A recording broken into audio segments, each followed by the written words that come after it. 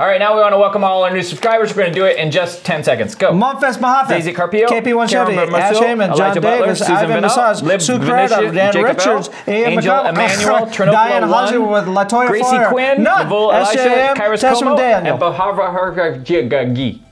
Welcome. Well, we'll be right back.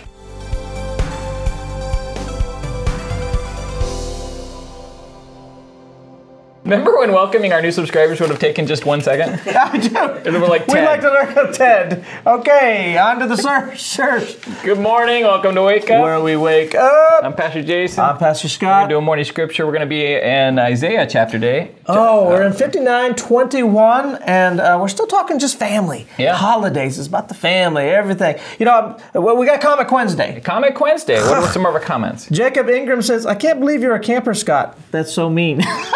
must be a runner. So, in, in the gaming world, campers are a bad thing because you hide in a house. It doesn't take as much skill, they believe, and if someone runs in, you just shoot them. Well, yeah, you hide behind things and But everything it takes else. a lot of skill. But it, it makes more sense than running out to where people are, sh- are Listen, shooting. if they were real, you'd be a camper too. Exactly. Kathy Fan said, You were recommended on YouTube, so my first watch is now. Welcome, Kathy. Everyone That's replied. awesome. When you see a new person, everyone replied like crazy. Kathy, tell us where are you from? Uh, Pollock Carpenito, Scot, you're what I call a piece of work. I am.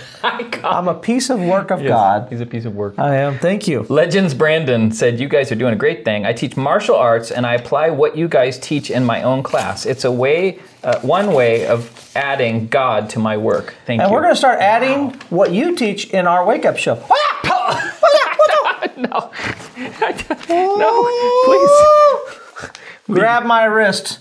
I like- my other wrist. I like when you can What is that snatch from? the pedal from my hand. Nikki Besos says, Hello, pastors. My name is Nikki. I'm semi new. Been watching since October of this year. That also happens to be when I started going to the Ahwatukee church. oh, wow. Yeah. So we have one in Ahwatukee. Early August, I got very sick, thought I had colon cancer, was scared. I was praying, didn't feel a connection to my prayers, almost felt like they were just words with no faith. Then one day I woke up distraught. I came into work, my mind was all over the place. I found a quiet room at work, just talked to God. I told him what I was scared, I was mad. Uh, please blessed with health. I cried, I yelled, and then I ended with a calm. Lord, if you can give me a sign that it's going to be okay. When I tell you that as soon as I left the room, signs were just appearing. The big one was to find you guys on October 21st. I went to the church in Ahwatukee. The best part is my fiance goes with me as well, and we love it. Our first uh, mass, pastor prayed over me. The next day, I had my colonos- colonoscopy. Everything came back great. It's a really long comment, but what That's a a story! great Thank comment. you, Nikki. Wow, Oh my she God. got healed. I like this name alone. Cute, but psycho. Seven two.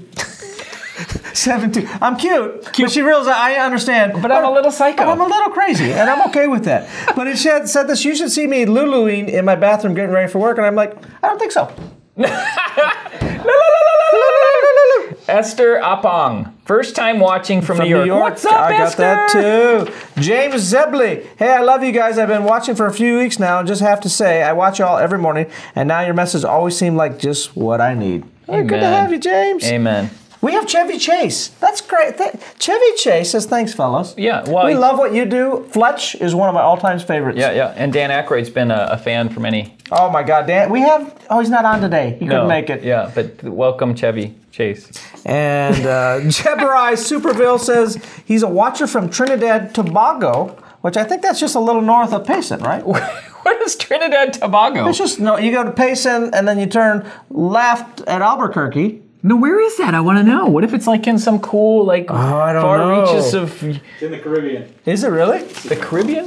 Wow! welcome. welcome. Good to have you. All right, we're in Isaiah today. I was trying to think of like a Caribbean accent, but I can't think of one. uh, no problem, man. Oh, okay. But I think that's Jamaican. Is that that's Caribbean? Yes. I'd love. You I'd were there. Love that place. Talk about the happiest people in the world. No matter what happens, Because there's no problems. there's no problem, man.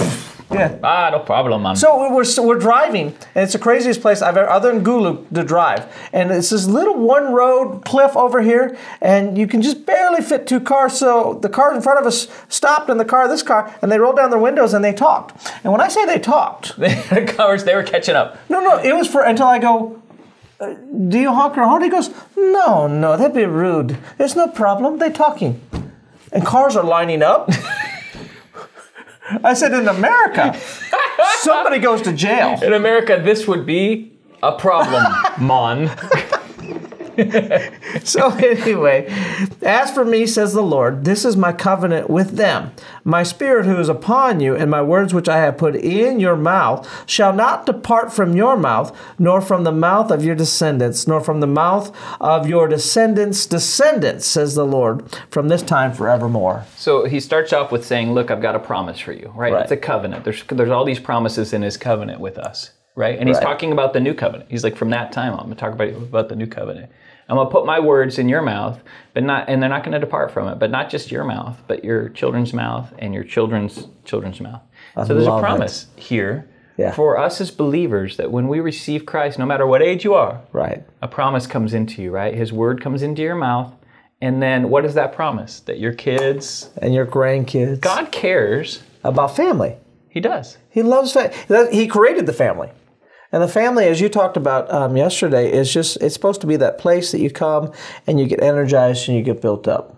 Yeah. Kind of like it's a picture of church. So, you know, because the bride and the groom, and the, the church is also that. You Yeah. come to church on, on the weekend Yeah. and you just get around family. Yeah. And you get energized and you get built up. And so then his goal then is for us to be that picture in our home. Yeah. It's not battling and it's not fighting. You know, we grew up and mom and dad, because they didn't know how to do it, they had, we, they battled. Yeah.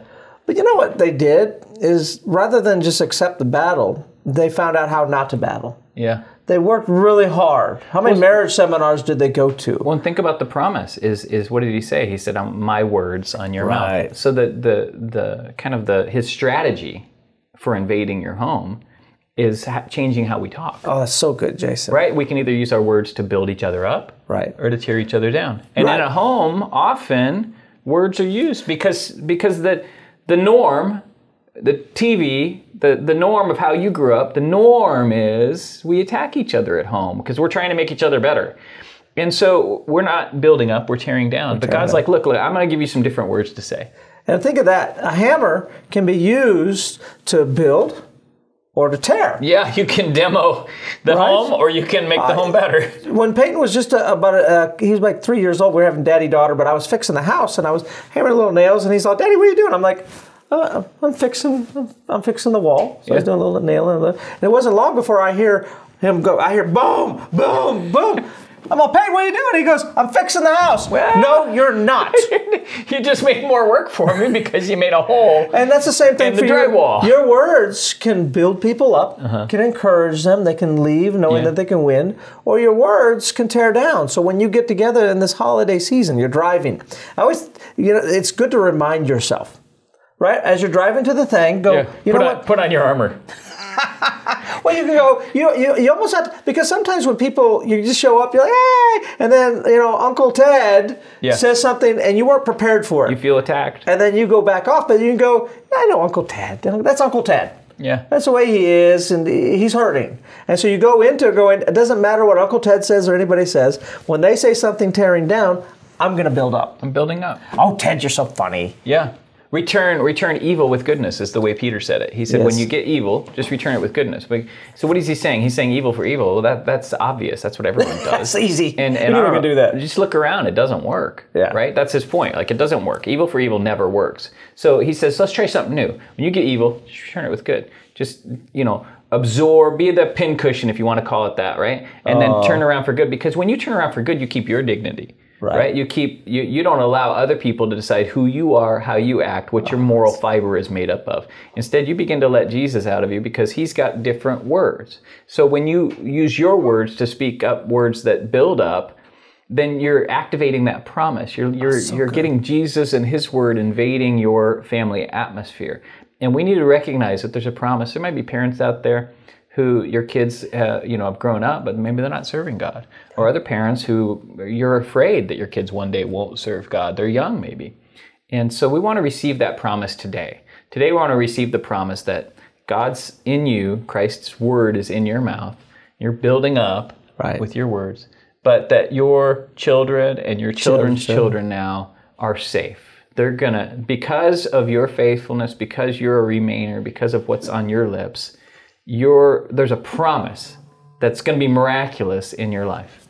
That was Loved it. Let's Yeah. pray over the day. Yeah. Dear Heavenly Father, Lord, we thank you and praise you for the promise, Lord, that you're speaking through us. Speak through us in the holiday. Speak through us to our kids, to our grandkids, to our, our parents, to our aunts and our uncles, that we are not people who tear down, but instead we build up that we're the ones that encourage. We're the ones when people walk away, they feel better about themselves. They see something different. They know we're Christians, but now we want them to see we're Christians. Mm-hmm. We want them to experience what it means to be unconditionally loved because many of our family members have never felt that unconditional love. They have a, they, they, they've been put down and they've been shamed and they've been condemned their whole life.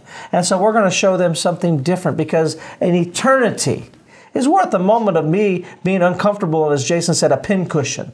Their eternity is worth me finding a way to build them up even when they're trying to tear me down because you have strengthened me and you put your word in me in Jesus' name. Amen. Amen. Well, watch this clip. We start a brand new series today called New. Turn to your neighbor and say, New. New. It's a brand new series called New. As we enter into the new year, as tomorrow is going to be a new day, what do we do to have a different year than we had this year? What do we do to have a different day, maybe, or even a better day as I enter into the new? And we're going to be looking at Paul and Silas here in uh, uh, 1622. And uh, the crowd joined in the attack against Paul and Silas. How many people know that just because we become Christian, get saved, that it's not all butterflies, right, and pancakes all the time and rainbows, but we're going to have storms, that it's not hidden from us, that we're going to have opposition, that we go off into the world and we're doing our purpose and we're doing our destiny and we're, we're trying to change the world, that the enemy is like a lion that's coming around and trying to have an opposition. And so it's not that we won't have opposition, but it's that Christ Jesus in us will help us overcome whatever opposition comes before us because if God is for us, who can be against us? And so it is a battle sometimes, but we have to know that we do have the victory. It's a storm sometimes, but we have to know that the rainbow is coming. And so here they are, they're in the middle of a storm, and the magistrates ordered them to be stripped and beaten with rods. After they had been sever- se- severely flogged, I don't know what flogged is, but I don't think it's good, right? They were thrown into prison, and the jailer was commanded to guard them carefully. And when he received these orders, he put them in the inner cell and fastened their feet in the stocks about midnight. Say midnight. Midnight. Midnight is like that, that, that little timeline between the old day and the new day. It's the difference between yesterday and today. Or you could say, I guess, tomorrow. It's what has happened and what's going to happen. So there's a fine line as we approach midnight, as we approach the darkness, right? The midnight hour, we get to midnight and now there is a new that is coming. But what I want you to see is, is what you do in the old has a big effect on the new. What you bring from yesterday into today has an effect. And so, what is Paul and Silas going to do? They traveled over 1,400 miles, over 1,400 miles to get here, to preach the word, to do their purpose, and to do their destiny. And you see that they show up, and there's an opposition, and they're beaten, and they're flogged, and now I'm in prison, and we don't know where tomorrow is going to go, and what's going to happen. And is it disgruntled, and where is God? Why didn't God show up? Give my life to this, travel all this way. And now I really I get flogged. I got flogged today. This is what I get after all that I've done. Where is my God? Why didn't he show up? Why are we in prison? Why are these things happening? Why am I going through this in my teenagers? Why am I going through this in my relationship? Why is this happening in my finances? Why is this happening? And so oftentimes we get to midnight. But remember what I do at midnight has a big effect about what happens in my new day. So, what did Paul and Silas do? It was about midnight. Throw that scripture up there for me, Betsy. About midnight, Paul and Silas were praying and singing hymns to God. And the other prisoners were listening. How many people know that people around you are listening? That your kids are listening. Teenagers, maybe your parents are listening to what you're doing. Your coworkers and your friends, they're seeing. Okay, wait, they're Christian. They're going through th- something and they're listening to see is there anything different from us and those that are in the world? And so they were listening to them. Suddenly there was a violent earthquake that the foundation of the prison were shaken. At once, all the prison doors flew open, and everyone's, I love the fact that it was everyone's chains. So it didn't just affect me, it wasn't just my world that was affected. Come on, somebody out there. I begin to affect my kids, I affect my coworkers. Everyone around me begins to get affected based on how I approach my new day. We're going to have midnights, just part of life we are going to have those broken type moments. We're going to have that battle. We're going to have that opposition. But what are you, what are we as a church going to be as we're approaching midnight, as we're getting into the new? Thumbs up. Hope you liked it. Like and subscribe. And uh, candlelight service yeah. at all of our locations epic, amazing, Ahwatukee, Gilbert, Scottsdale, Mesa, yeah. Gulu. Yeah, and Gulu. And wherever you live, um, maybe you live, uh, people watch this all over the place um, you know, support your church. Right. Find a church. Bring people to their candlelight service. In Trinidad. Yeah, Trinidad. Blow that thing up. Arkansas. We, we send our love to you in California. When the the you, Philippines. Okinawa. Say, we have our Okinawa person. We do. Yeah. Uh, did you say Trinidad is in Arkansas? No, I was just mentioning another place called Arkansas. Oh, Ar- where is that? Is that out? Uh, Arkansas that's Caribbean. is just R R of Kansas. don't know what to do with you. We'll see you tomorrow.